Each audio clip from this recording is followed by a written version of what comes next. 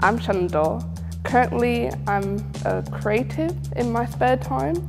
At Brixton Finishing School, it's been such a good experience, you know, kind of like meeting other people who kind of in a similar boat as me, who kind of relate to some of the struggles that I've been through. I want to try and get myself into um, the creative agencies and then hopefully from then on I could kind of help individuals like myself when I was their age, so kind of like mentor and just kind of give them wisdom. Hiya.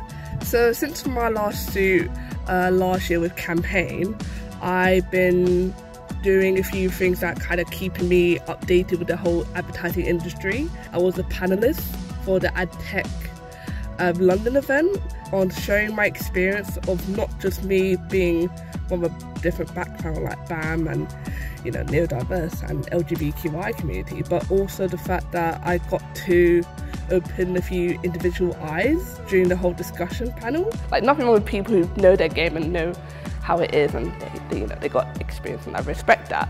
But not when the whole agency have one person of colour or just have one woman in the office or even just people who not traditionally a white male guy.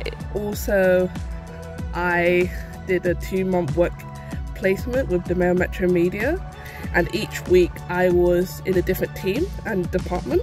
Near the end I applied for their one their full-time role. Really, long story short, it was uh, splendid because I ended up getting a full-time role with them and this is what I'm currently doing at the moment.